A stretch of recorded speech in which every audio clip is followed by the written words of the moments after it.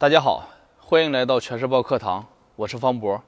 今天这节课，我教大家如何快带。首先，大家要知道，在比赛中，什么球能快带，什么球不能快带。我之前教过大家反拉，反拉是要有一定的空间，球速在不是特别快的情况下才能去反拉。如果球速特别快的情况下，你没有空间去退台、去拉手，像这种情况下怎么办？那就能用到快带。所以，快带只能带这种速度相对比较快、力量相对比较大的球去快带。如果它速度比较慢，它球又比较高，像这种球你临时退台去反拉是来得及的。所以大家要知道分得清楚哪些球是可以快带，哪些球是可以反拉。我给大家做几个演示。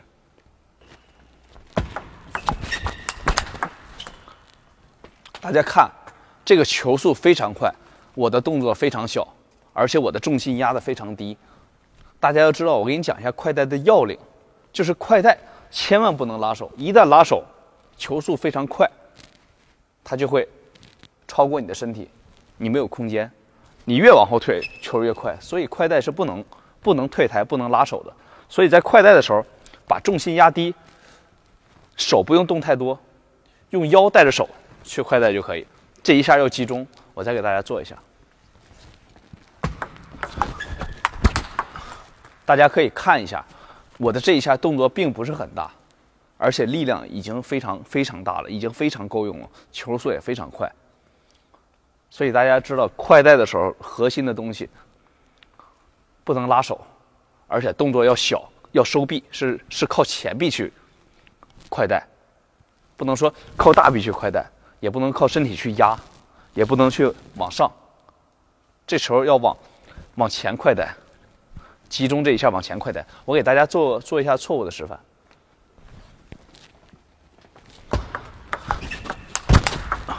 大家可以看，虽然我这个球拉上了，但是比赛中我百分之八十甚至到九十可能要失误，因为我是训练，我知道他拉在这里，因为这个时候我拉手过大。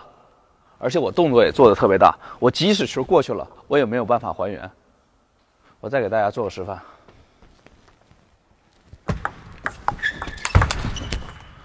大家可以看一下这个球为什么失误了。因为我的站得非常直，我的重心没有趴下来，所以他拉过来这个球我根本压不住，控制不住，很容易就飞了。而且我动作我不能人站直了，手往下，所以重心。和腰非常关键，一定要保持前倾，去这么去快带。来，